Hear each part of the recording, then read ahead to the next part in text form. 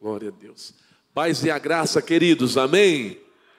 Glória a Jesus, muito bom estarmos aqui novamente, né? Estávamos hoje à tarde e nessa noite Deus tem sido glorificado. Que coisa gostosa é sentir a presença de Deus, né?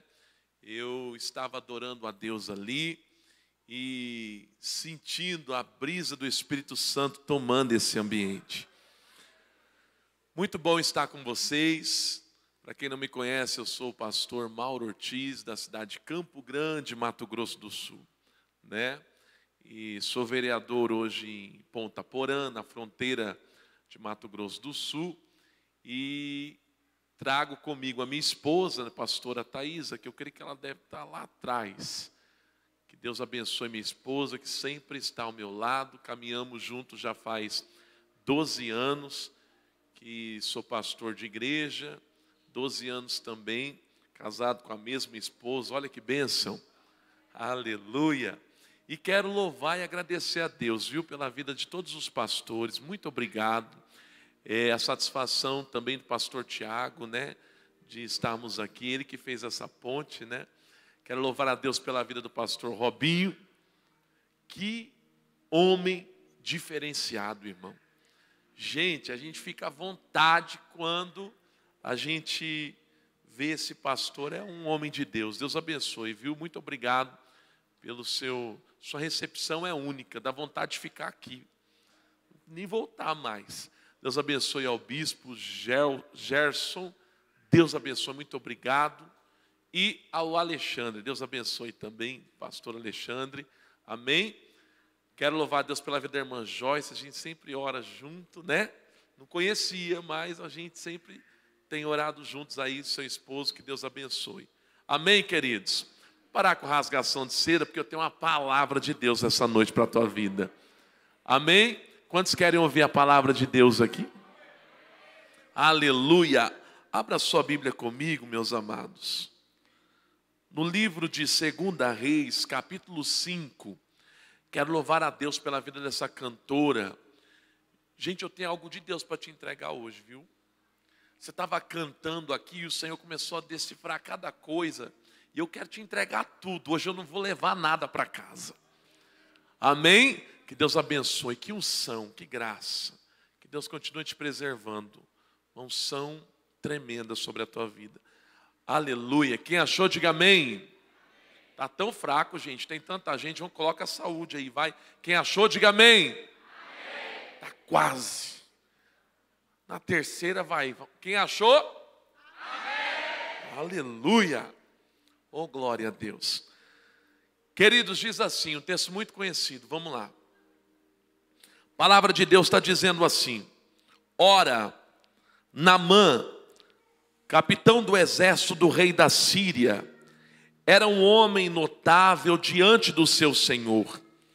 Era um homem honrado e de muito respeito porque por ele o Senhor dara livramento aos sírios. Ele também era um homem poderoso, valente, porém leproso. E os sírios saíram das companhias que haviam trazido cativa da terra de Israel, uma, uma criada pequena, e ela servia a esposa de Naamã. E ela disse à sua senhora: Tomara que o meu senhor estivesse diante do profeta que está em Samaria porque ele restauraria da sua lepra.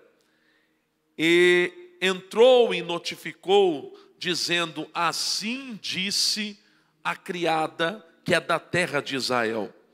E o rei da Síria disse: Vai, enviarei cartas ao rei de Israel. E ele partiu e levou consigo dez talentos de prata, seis pedaços, seis mil pedaços de ouro, dez mudas de vestes e trouxe a carta até o rei de Israel, dizendo: Agora, quando esta carta chegar a ti, eis que com ela enviar-te-ei Namã, o meu servo, para que possas recuperá-lo da sua lepra. E a igreja diga amém. Senta um pouquinho, queridos. Eu queria só mais um pouquinho de microfone, pode aumentar o fundo. eu sou pentecostal. Pentecostal é um caso sério. Queridos, você sabe muito bem da história de Namã, você conhece, é um texto muito corriqueiro, mas todas as manhãs a palavra de Deus se renova. E eu quero trazer aqui, compartilhar com vocês, algumas revelações que o Senhor tem colocado no meu coração. Quando nós lemos esse texto, nós vamos ver as qualidades que o chefe do exército do rei da Síria, que Namã tem. Namã é um homem cheio de qualidades. A Bíblia vai dizer que ele é um homem honrado, que ele é um chefe, que por ele o Senhor dará livramento aos sírios. Só que nós vamos ver também uma baita de uma vírgula aparecendo, dizendo que Namã é leproso. Você sabe muito bem que Namã, ele se levantou para invadir a Israel de Deus. E quando ele toma essa decisão, Namã está pensando na sua cabeça: vou invadir a Israel de Deus. Só que na verdade, quando ele toma essa decisão de invasão, é Deus que através de Israel que vai invadir a vida de Namã. Escute isso. Tem muitas pessoas que chegam nas nossas vidas e nós pensamos, eu vou invadir a vida do fulano, mas na verdade é Deus que invade a vida de alguém através das nossas vidas. Quando alguém invade o nosso espaço, quando alguém invade as nossas vidas, é Deus através de nós invadindo a vida de alguém. Então Naamã pensou que ele estava por cima, que ele iria invadir, mas na verdade era o Todo-Poderoso invadindo a vida de Naamã. Quando ele enfrenta Israel de Deus, nessa batalha ele traz uma menina, a Bíblia deixa muito claro, é uma menina. Ele traz uma menina cativa. Essa menina vai ser escrava dentro da sua casa. Ele presenteia a sua esposa. Ele pega essa menina da terra de Israel, tira ela dos seus costumes, tira ela do seu Deus, tira ela da sua família. Então ele vai dar para sua esposa como escrava. Só que tem uma coisa, queridos, todos nós temos um propósito aqui na terra. Eu vou repetir: todos nós temos um propósito de Deus aqui na terra. Me dá mais microfone, por gentileza, retorno, por favor. Queridos, é incrível. Deus tem um propósito para nós aqui. E você precisa entender o seu propósito. Pastor, por que você está falando isso? Porque muitas vezes Deus coloca em lugares que não queremos estar. Tem ambiente que não queremos estar trabalhando, mas Deus nos colocou lá. E nós precisamos entender o propósito de Deus na nossa vida. Você não nasceu por um acaso, você nasceu para um propósito. E você precisa ter maturidade para cumprir esse chamado, esse legado, esse propósito que Deus te chamou. Tem muitas pessoas que não entendem o propósito de Deus. A Bíblia vai deixar muito claro: é uma menina, mas tem uma maturidade superior, tem uma maturidade extraordinária. Ela sabe que Deus colocou ela naquele lugar para fazer a diferença. Talvez você está naquele trabalho dizendo: Meu Deus, eu não quero estar aqui, mas Deus quer te usar lá.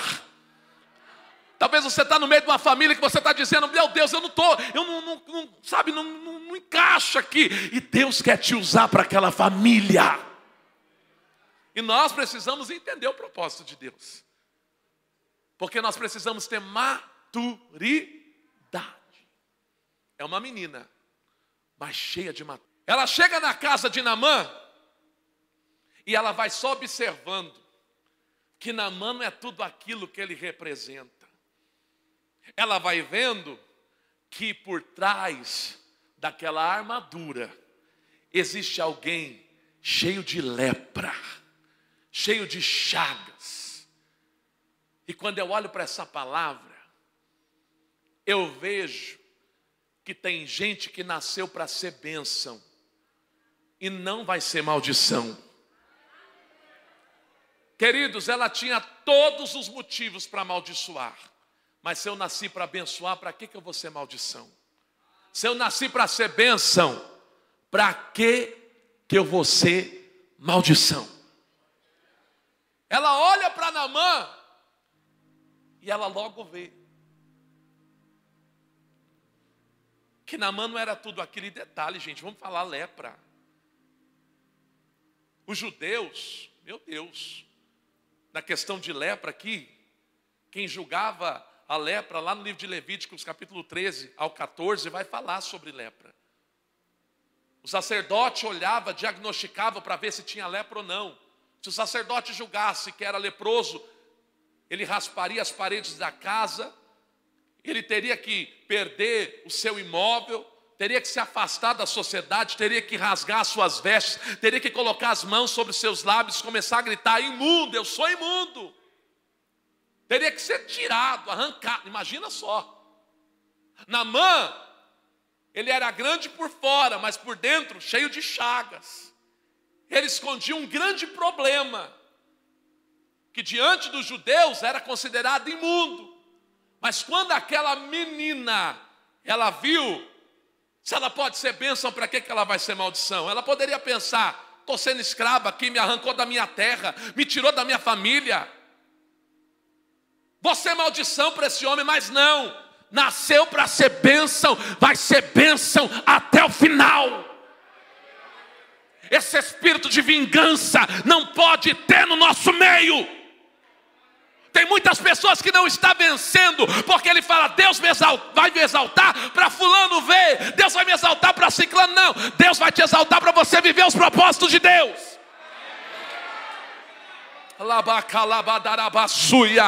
Olha para quem está do teu lado, fala: Você nasceu para ser bênção. Aumenta meu fundo, aumenta meu microfone, que eu estou pentecostal. Você tem que entender isso. Nós temos um propósito. Olha para o teu irmão, fala, irmão, você nasceu para abençoar. Fala para ele, você nasceu para abençoar. Você nasceu para abençoar. Pastor falou mal de mim, abençoa. Pastor, olha, pastor, está se levantando contra mim, abençoa. Se você nasceu para ser bênção, libera essa bênção em nome de Jesus.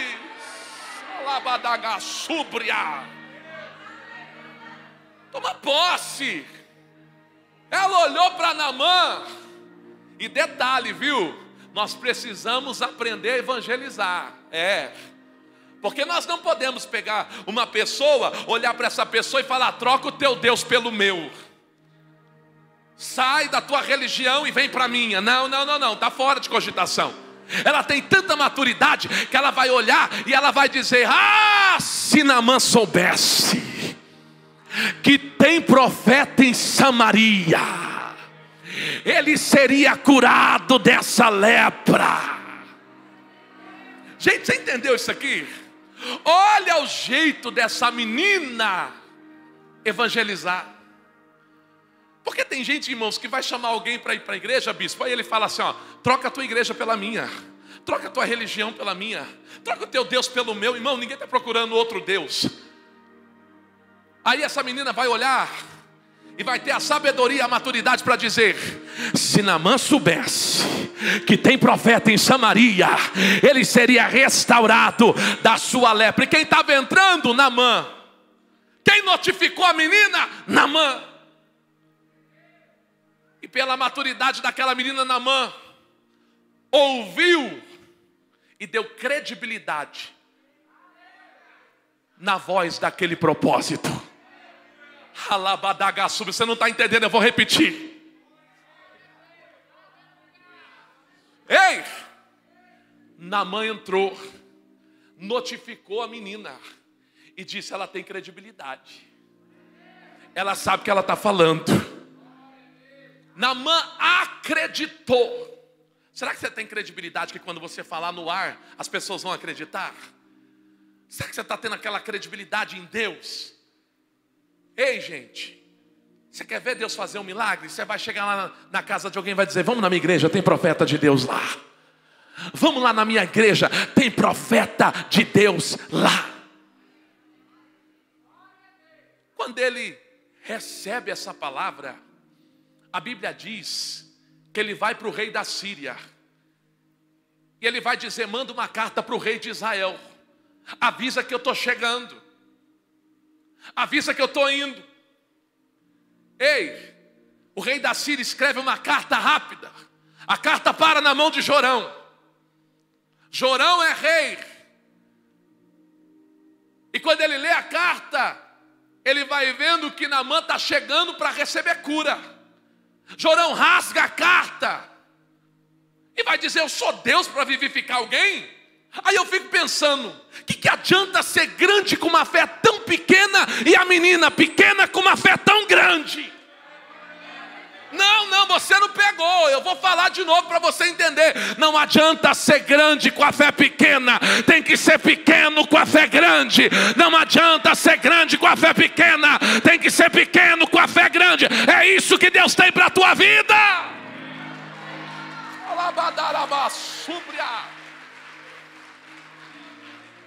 Ser pequeno não é defeito, ser pequeno não é problema. Problema é ter a fé pequena.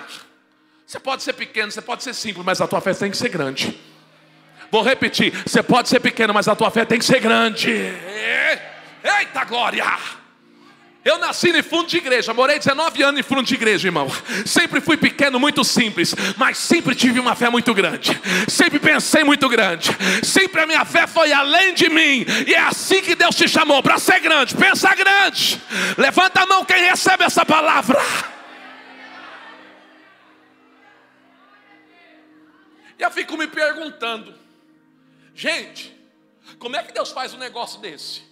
Pega uma inocente, tira da sua casa, faz ser um propósito de dentro da casa de Namã, e o Espírito Santo começou a me revelar, e começou a me mostrar que tem pessoas que o próprio Deus quer para o seu evangelho, para a sua obra, porque Namã só foi encontrado por Deus porque mesmo com chagas, mesmo com lepras, mesmo cheio de feridas, Namã colocava sua farda e Namã ia para a guerra.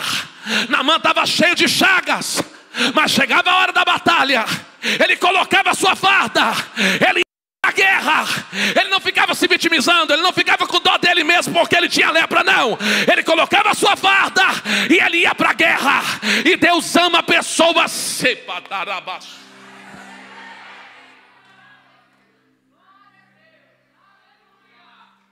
Estamos vivendo uns dias de pessoas que ficam, sabe, se fazendo de coitadinho. Ai, Jesus. Ai, meu Deus. Fulano não me cumprimentou, ciclano não me viu. Aí qualquer coisinha ele desiste, ele para. E Deus está procurando pessoas que estão tá ferido, mas coloca a farda e vai para a guerra. Não, não, você não pegou, vou repetir. Deus está procurando pessoas que mesmo ferido coloca a farda e vai para a guerra. Ei, está ferido? Está machucado? Assim que te diz o Senhor, coloca a tua farda, vai para a guerra. Deus não vai te poupar. Não adianta ficar se vitimizando. Tem gente que tem dó dele, ele mesmo tem dó dele mesmo. Sabe por que, que Deus fez tudo isso na vida de Naamã? Porque Naamã tinha chagas, tinha feridas, tinha lepra, mas só vivia na guerra colocava a sua farda e ia. Gente, não é fácil pregar isso aqui não, viu? A gente tem que viver o que a gente prega. Quando eu fui eleito na cidade de Ponta Porã a vereador, passou alguns dias, eu sofri um atentado na minha casa. Meteram 17 tiros. Estava eu e os meus dois filhos, que eu tenho gêmeos, três anos de idade o Theo e Cael. Minha esposa estava com a Julinha chegando em casa. Tinha saído do culto, cheguei em casa, tinha vencido. E aí, cheguei depois de alguns dias, alguém se levantou contra a minha vida, Deu 17 tiros, a minha porta aberta, janela aberta, tudo aberto. E bala para todos os lados. Uma arma de 9 milímetros. Queridos, quando aconteceu aquilo, eu fiquei tão desesperado. E o meu filho, de três anos, olhou para o abdômen dele e começou a sangrar, e começou a desfalecer, e começou a dizer: Papai, papai, furou, papai. E ele começou a desmaiar nos meus braços. Eu saí para fora, nem preocupado com quem havia atirado, porque quando toca no filho da gente, a gente fica desesperado. E comecei a dizer: Deus, salva o meu filho. Se o Senhor salvar meu filho, eu prometo pregar o resto da minha vida. Nunca mais deixe de pregar. Por todas as almas, Senhor, que eu já ganhei pelo amor ao Evangelho, salvo meu filho. Fui com meu filho desmaiado nos meus braços no hospital. Chegou lá, não tinha pediatra, só tinha médico. Eu comecei a orar. A igreja cercou o hospital. A minha esposa orando, minha irmã no banheiro orando, todo mundo orando. E eu dizendo: Deus, salva o meu filho. Clamando, orando. O médico falou: vou ter que operar porque não tem pediatra. Eu disse: pode fazer o que for necessário. E clamando, clamando.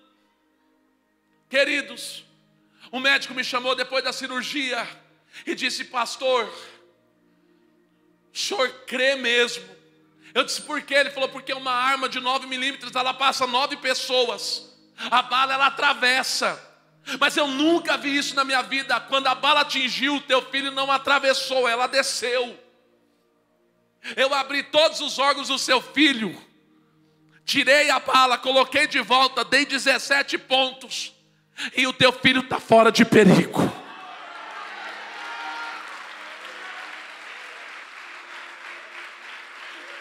Tem hora que Deus quer que mesmo ferida a gente coloca a farda e vai para a guerra. No outro dia eu tinha que pregar. Eu não ia deixar o povo de Deus na mão. O Senhor falou para mim: cuida do meu povo, que eu cuido da tua casa. Faz a minha obra, que eu cuido de você. E às vezes a gente fica só pensando nas nossas feridas, sendo que tem pessoas que estão pior do que nós. E depois que Deus fez isso, queridos, eu nunca mais deixei de pregar. Meu filho não ficou nem com sequela, hoje é ele que bate em todos os irmãos. Eu olho para ele e falo: bate mesmo, meu filho. Só Deus sabe. O que, que eu passei? Eu estava ouvindo aqui o, o, o irmão Alexandre, o pastor Alexandre falando aqui, ó, meu, meu pai perdeu um filho e no outro dia ele foi pregar. A gente tem que colocar a farda, a gente tem que ir para a guerra. É assim. Ei, pega na mão do teu irmão, pelo amor de Deus. Balança a mão dele, fala, irmão, em nome de Jesus, veste essa farda e vai para a guerra. Não, tá fraco, diga para ele, veste essa farda e vai para a guerra. Guerreia entra nessa guerra. Alabadaga súbria. É por isso que eu não deixo de pregar, é por isso que eu entreguei a minha vida para o Evangelho, porque quando Deus provou a minha fé, o Senhor me deu vitória. Alabadaga súbria, aleluia. Levanta a tua mão por um minuto, começa a dar glória para esse Deus. Levanta a tua mão, começa a dar glória para esse Deus. Quem vai vestir a farda e vai para a guerra, levanta a tua mão aqui agora.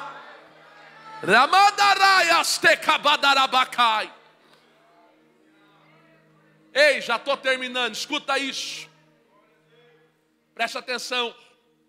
Namã pega ouro, pega prata, pega cobre, peças de roupa fina Namã vai em direção a Samaria. Quem atende ele, o sucessor do profeta, Geazi. Eliseu não vai nem atender, porque tem milagre que Deus faz do jeito que Ele quer. A gente imagina, vou lá, o pastor vai colocar a mão na minha cabeça e eu vou receber, mas não, é do jeito de Deus. A maneira é de Deus. Quando Naamã chega, ele dá de cara com Geazi. E Geazi já vai dizer: escuta, o profeta avisou para você mergulhar sete vezes no Jordão, porque o Jordão ele corre no meio, ele é no centro. Deus quer você no centro da vontade dele. Naamã pensou: tem rios melhores, mas era no Jordão que Deus tinha um propósito. Quantas vezes? Sete vezes eu preguei nessa tarde sobre perseverar. Tem coisa que a gente tem que insistir. Diga aleluia. Tem coisa que a gente tem que insistir. Quantas vezes? Sete vezes. Quantas vezes? Está fraco, gente. Bota a saúde. Quantas vezes? Sete. Eu amo esse número. Esse número é o número de Deus. Você pode olhar na Bíblia, tudo é sete. No sétimo dia Deus descansou. Sete voltas sobre Jericó. Os sonhos de Faraó foi sete vacas gordas, sete vacas magras, sete catiçais, as sete cartas, tudo é sete. Quantos dias tem a semana? Tudo é sete. O número da besta, meia, meia, meia, mas nunca vai ser sete. Sete é só o nosso Deus. Não, você não entendeu. Sete é só o nosso Deus. Essa igreja está em clima de sete. Levanta a tua mão. Essa igreja está em clima de sete. Levanta a mão para dar glória aí, quem está em Alamassúria. Dia 17, 70 anos, outubro, clima de sete. Falta um ano, hein? Já está quase lá. 70, 70, né? Mas é 23, 70, né? Ah, Jeová está falando aqui, é tudo sete. Jesus está dizendo aqui que é tudo sete. Olha para o teu irmão, fala, irmão, é para mergulhar sete vezes mesmo, irmão. Tá fraco, diga é sete vezes mesmo. Não tem jeito não, meu irmão. Fala, Deus vai te pegar, rapaz. Vai ter que mergulhar. Vai ter que mergulhar segunda, terça, quarta. Vai ter que mergulhar. E quando ele mergulha a última vez, a Bíblia diz que quando ele levanta, a pele dele se torna como pele de criança. Você já viu pele de criança? Pele de criança não tem marcas. E é isso que Deus vai fazer nessa noite. Vai tirar todas as marcas que essa luta te causou. Vai tirar todas as feridas que essa luta te causou. Levanta a tua mão, só quem crê no Deus do sete. Um minuto de glória a Deus, levanta a mão, um minuto de glória a Deus. É sete, é sete. É tudo sete. Levanta a tua mão. Levanta a tua mão. Lamadaia sobecamandarabaia. Há uma unção, há uma unção. Há uma unção. Lemassúria. Eu estou sentindo Deus aqui. Eu estou sentindo Deus aqui. Há uma unção diferenciada. Oh Espírito Santo. Pega na mão teu irmão fala, irmão, creia no propósito, creia no propósito. Levanta a mão dele para cima. Vai dando glória. Vai dando glória.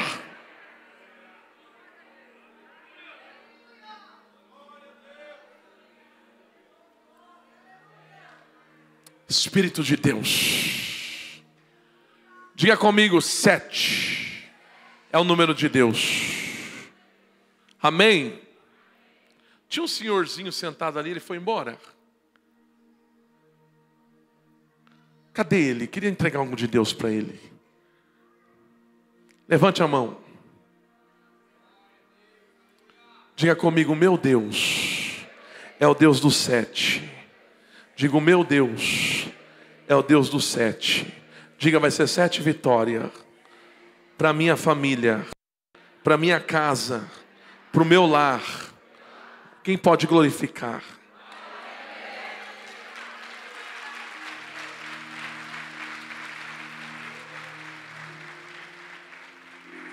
Aplauda mais forte, querido.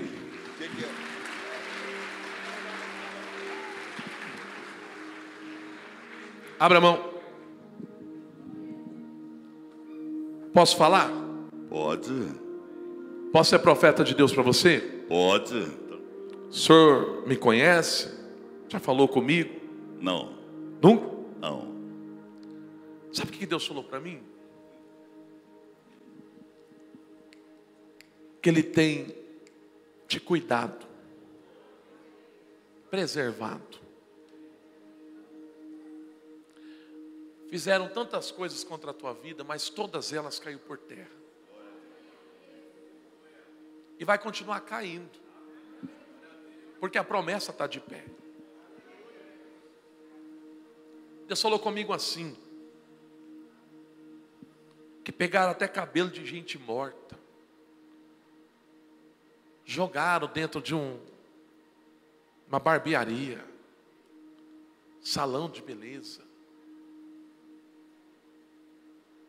O senhor conhece algum Aureliano? Deus manda dizer que nessa noite Ele marca a tua história. Glória a Deus. Há uma coisa nova chegando para a tua vida. Alabadaga subcouve astéria. Quando eu olho para você, eu vejo o Senhor cuidando. Você conhece alguma Maria Teresa? Hã? Era minha mãe, falecida. Deus te escolheu desde o ventre dela. E Deus manda te dizer mais. Conta os dias. Porque os teus olhos vai ver a promessa se cumprir. A promessa é maior que essa luta que você está passando. Você já cortou o cabelo de alguém? Já cortou? Mexeu com o cabeleiro? Já teve? Hã? A minha esposa era cabeleireira. Levanta a mão para dar glória, queridos. Glória a Deus. Deus manda dizer: toma posse hoje de uma vitória superior. Porque eu via dois sapatos na tua frente, Deus te calçando e Deus mandando te dizer que a promessa está de pé.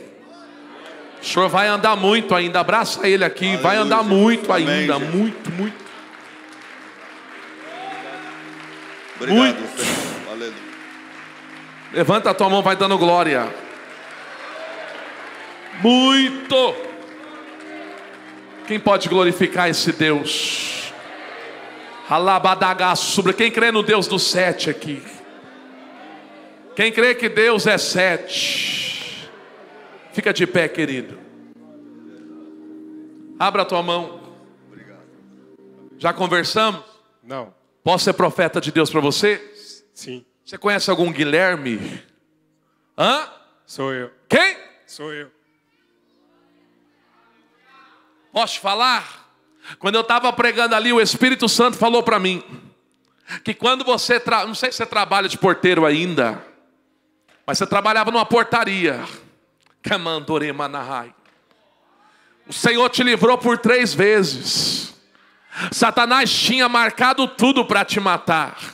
Só que o Senhor falou para mim: diga para ele que naquele edifício eu fui Deus, que na vida dele eu continuo sendo Deus, e que o meu nome vai ser glorificado por esses dias. Deus está desarmando uma situação contra a tua vida. Só Deus sabe as invejas que tu tem enfrentado, mas assim que te diz o Senhor, essa noite, eu estou antecipando algumas vitórias.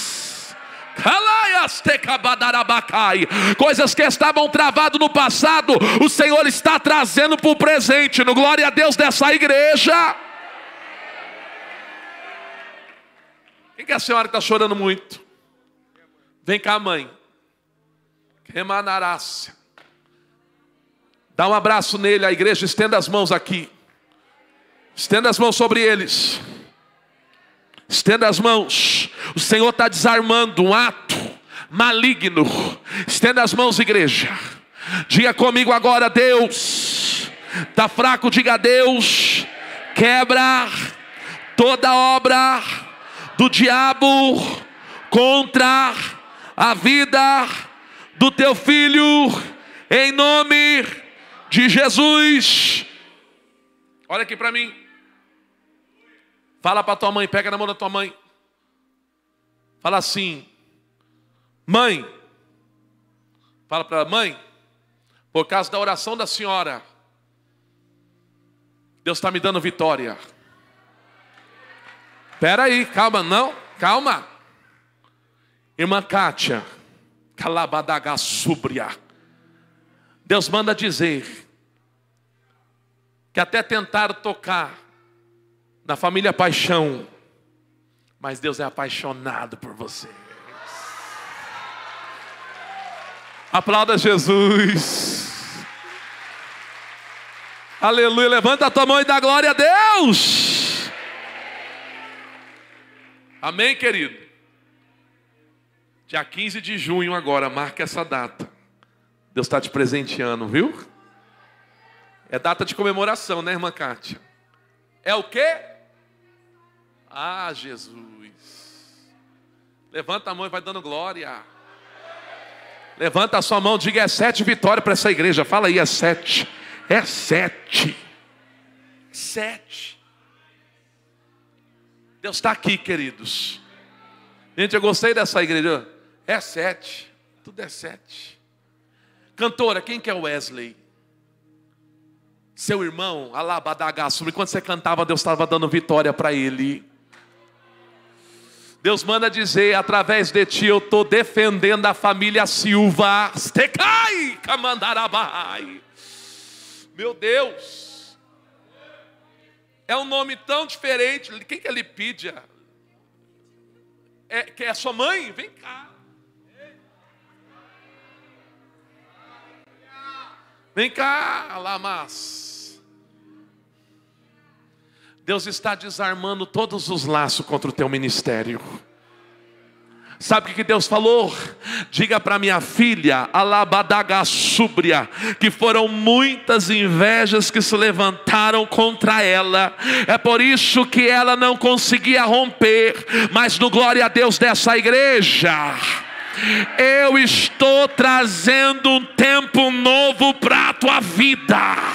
E diz mais: se prepare, filha, rebacanto que mandegue a subcalabai, que a tua família, araia show de andará, está sendo guardada, preservada por causa de ti. Quantas vezes, oremassúria, o inimigo que está para o teu louvor, tocar tocar na tua saúde, mas assim que digo para ti, é ano de romper. Tu vai romper, tu vai romper. Ah, essa igreja vai dando. Eu vou te trazer, eu vou te levar, por causa de ti vou eu virar cadeiras, ramassúria só para te colocar, tiro do ímpio, dou para justo, e o meu nome será glorificado nessa terra através de ti. Lembra desta profecia, filha, porque a partir de hoje, a sobre a cada promessa que eu fiz, sai do papel, trago a existência, tu vai cantar e ela e a sua AIDS vai ter que sair, o câncer vai ter que cair, Eremaço e a igreja vai glorificar. Senhor, não quero ser mais uma. Não quero ser cantora. Nasci para ser adoradora. Você até falou um dia para Deus: Deus não tem o jeito de cantora. Mas assim que te diz o Senhor, hoje será um divisor de águas no teu ministério. E essa igreja vai ser testemunha do que Deus vai fazer. Se prepare, porque a promessa está de pé. Em nome de Jesus, abraça ela, alguma irmã que abraça ela, levanta a tua mão.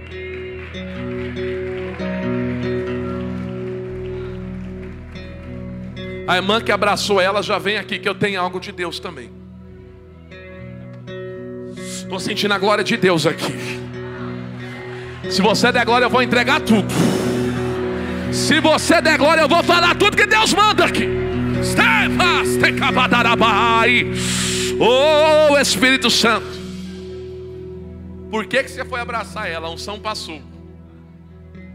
É transferência. Levanta a mão assim. Diga comigo assim. Sara, Você pertence a Deus. você pertence a Deus. A Sara é de Deus.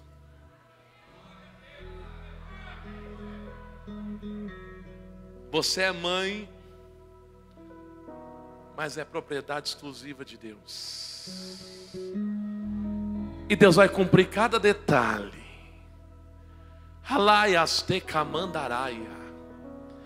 Queridos, esses dias Satanás queria tocar nos dela. Uma cadeira de roda cai da tua cabeça. Porque Satanás queria tocar nas pernas de um moço. Só que por causa de ti o Senhor deu livramento.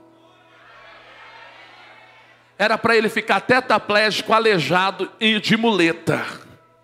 Só que assim que te diz o Senhor, no glória a Deus dessa igreja, eu estou livrando. E Satanás nunca mais toca. Porque Deus manda dizer, alabadagaçubriar. Aonde eu entro, o diabo tem que sair. Tecabaias, tecabadarabahai. E Deus manda dizer, filha, tu vai ver a minha mão no meio dos teus. Aonde não cabe eles, ah, o Senhor vai fazer caber. Tem mesa que eles não iam sentar, mas nessa noite o Senhor mudou de ideia. O céu é nosso, queridos. Levanta a tua mão, dá um abraço nela, que alguma irmã dá um abraço nela, pelo amor de Deus. Levanta a tua mão, vai dando glória. Ai, que ambiente gostoso. Quem nasceu para adorar aqui? Quem nasceu para adorar? Quem pode adorar a Deus por um minuto? Quem pode adorar a Deus? Adore a Deus, adore a Ele. Céu está aberto aqui hoje. Você pode adorar, quem tem adoração, quem pode falar em mistério nessa noite, quem pode ser profeta nessa noite, a partir de hoje você vai dizer: lá na igreja tem profeta.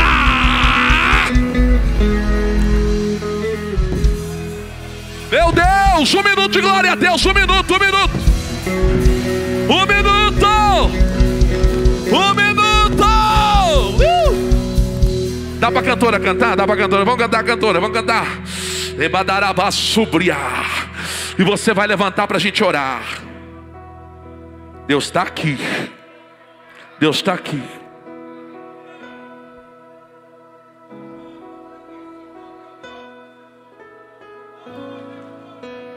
A senhora conhece algum João Alberto? Vem cá, vem cá. Dalai bacalamas.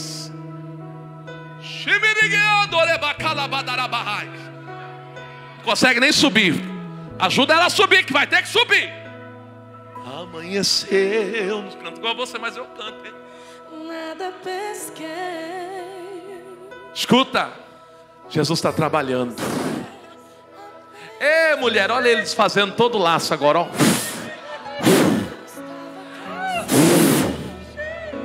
Posso falar? Quem que é Nair? Xiii, minha sogra.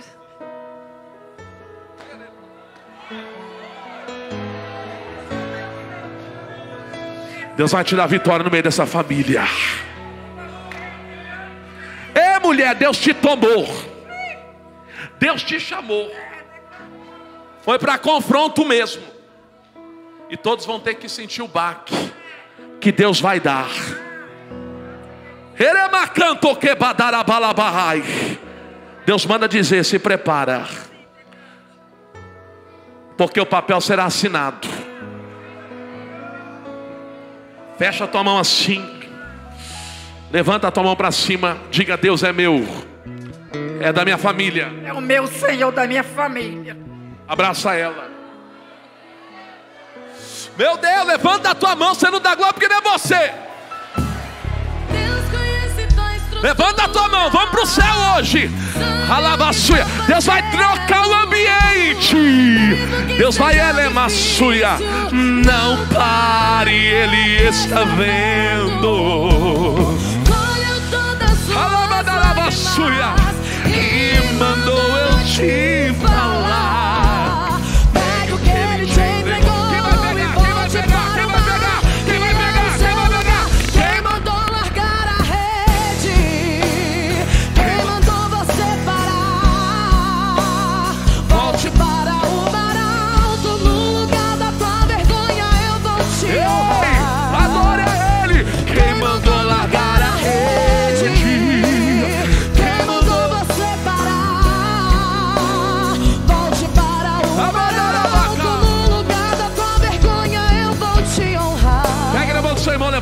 para cima, levanta a mão dele.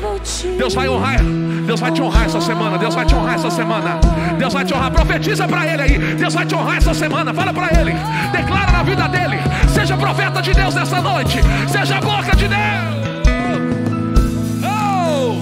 Deus conhece tua estrutura.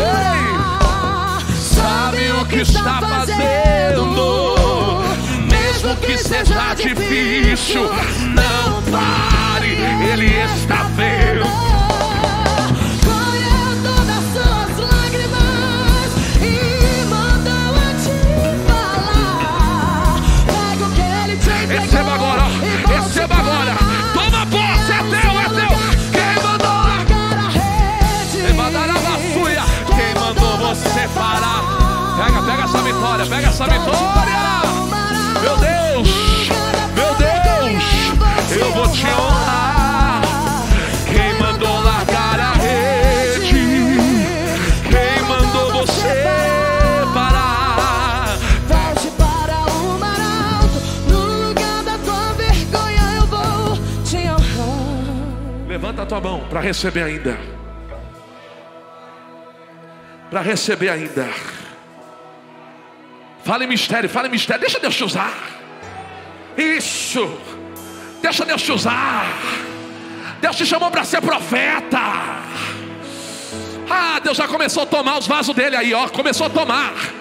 Ah lá, ah lá, ali no meio já tem gente dando glória, aqui na frente já tem gente falando mistério, ali no fundo já tem gente no poder. A atmosfera está sendo mudada aqui nessa noite.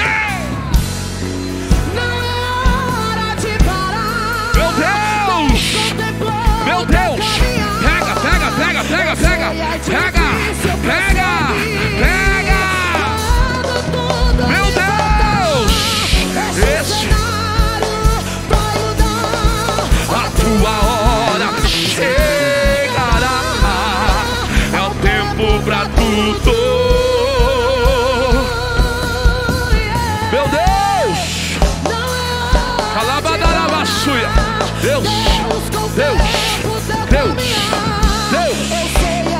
É difícil. prosseguir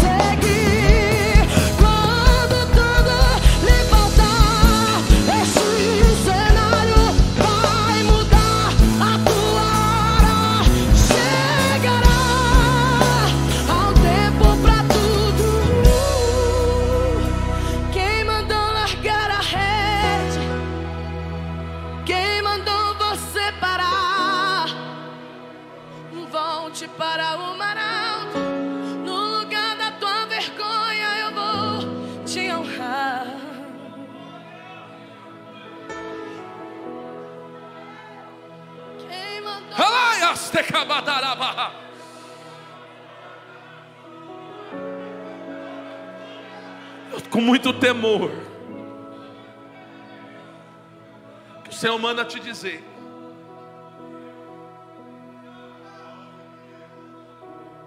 Que você sempre colocou a farda e sempre foi para a guerra. Tem muitos que não entendem a graça que Deus te deu mas não sabe que você sempre colocou a farda e foi para a guerra sempre pensando na obra de Deus. Até nos dias da perca você pensava, se preocupava. E Deus manda dizer: Eu vou mudar.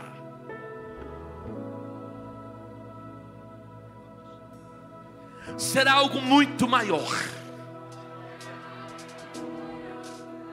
Aonde tu não chegar, a unção que eu te dei vai tomar.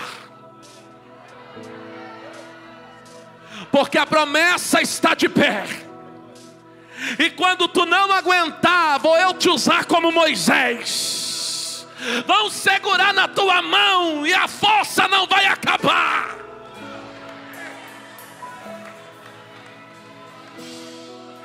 Esse lugar será reconhecido. Como o altar de Deus. Só que não é sobre essa cidade, é sobre as nações. Eu vejo ônibus saindo do norte, do leste, do oeste, todos estacionando neste templo. Eu vejo aviões, alabassuia, descendo sobre os aeroportos e descendo neste lugar. E toda essa nação vai saber que Deus é contigo. Ah, filho meu, quantas vezes aquela veste militar,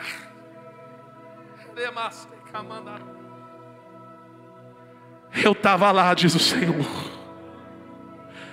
e eu vou te mostrar que tu foste fiel na perda, as percas, tu foste como Jó. Assim diz o Senhor. Como eu dobrei tudo na vida de Jó, estou dobrando tudo na tua vida. Porque tu foste fiel como Jó. E Deus falou para mim: já está no coração dele esta igreja. Já está no coração dele. Se prepare, queridos, porque este lugar receberão nações. Nações. Deus vai mexer com o Brasil. E vai sair daqui. Porque ainda tem gente que coloca a farda e vai para a guerra. Eu preciso que vocês se abracem agora. Abraça bem forte. A igreja levanta a mão aqui, estenda as mãos. Manda unção para cá. Manda unção para cá. Tá explodindo aqui. Tá acontecendo algo extraordinário aqui. Aramastúria. Isso. Isso, uma unção. Vai, manda unção para cá. Manda unção para cá. Manda unção para cá. Manda unção para cá. Manda unção. Unção. Unção. Unção. Unção. Mais unção. Mais poder. Mais graça. A saúde eu tô dando. Levanta, cala.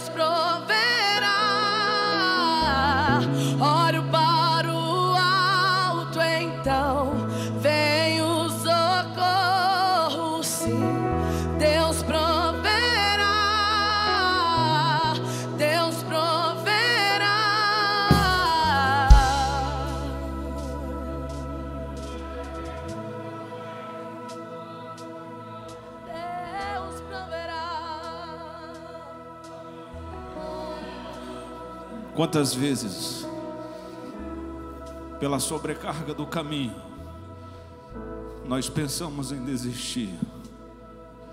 Quantas vezes, quantas vezes, quantas vezes nós pensamos que a cruz era pesada demais, que o fardo era pesado demais, que a situação era pesada demais, que a adversidade era pesada demais, que o problema era pesado demais, que o deserto era pesado demais. Há um recomeço de Deus. Ele anda abaixo, ele canta abaixo, ele anda abaixo, ele anda abaixo ao recomeço de Deus, ao recomeço de Deus, ao recomeço de Deus na sua vida, na minha vida, na sua história, ao recomeço de Deus, ao recomeço de Deus, ao a palavra de Deus, ao a mensagem de Deus, ao a direção de Deus, o céu está aberto, o céu está aberto, o céu está aberto, o céu está aberto, o céu está aberto, a provisão está chegando, a provisão está chegando, a provisão está chegando, a bênção está vindo, a bênção está vindo, em nome de Jesus, Deus proverá.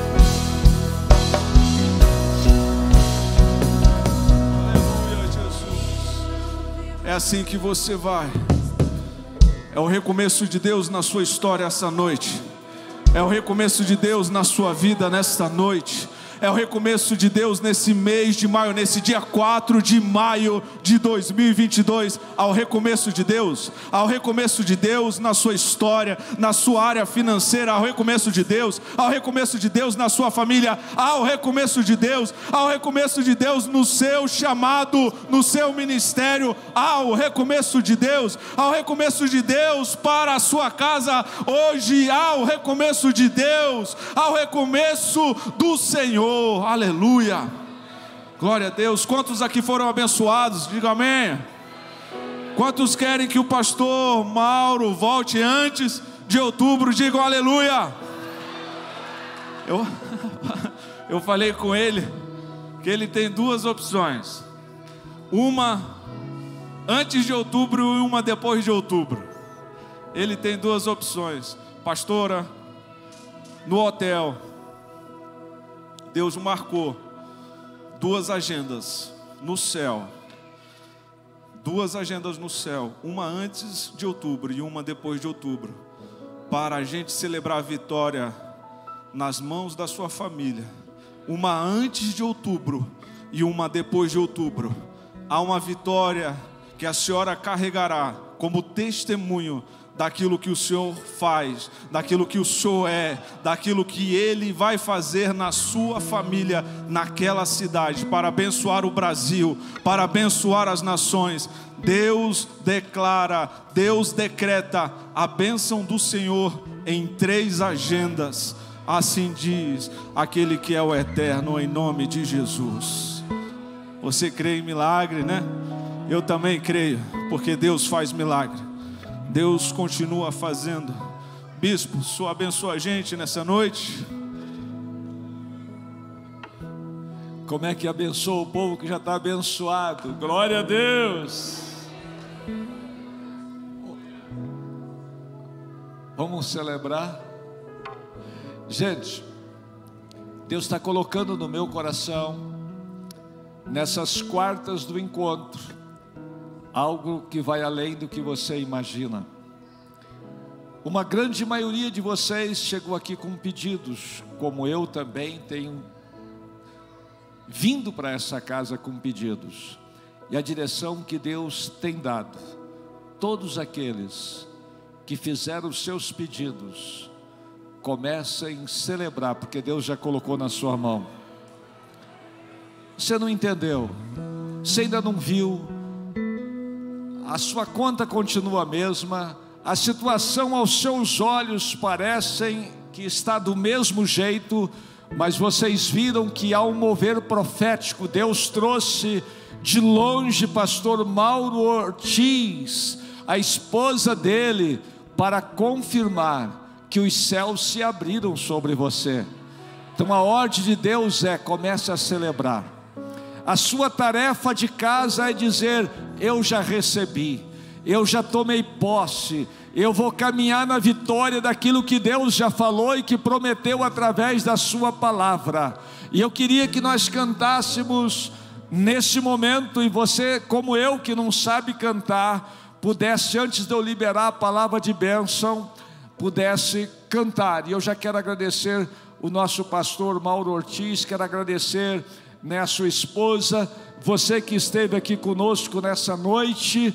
Mas domingo nós estamos em duas celebrações, 10 e 19, vem para cá e quarta-feira nós vamos continuar. Presta atenção. Nós estamos, aqueles que quiserem, pode jejuar das 18 horas da terça até o meio-dia da quarta, porque eu tô crendo que amarras que te prendiam já estão sendo quebradas em nome de Jesus. Convida mais alguém. Quarta-feira que vem vai ter mais, mas vamos celebrar. Glória a Deus. Eu queria que você celebrasse, que você profetizasse. Eu já tomei posse da minha vitória. Erga suas mãos lá em cima, lá em cima, lá em cima. E diga: Quem mandou largar a rede? Quem mandou você parar? Oh, Deus. Volte para o mar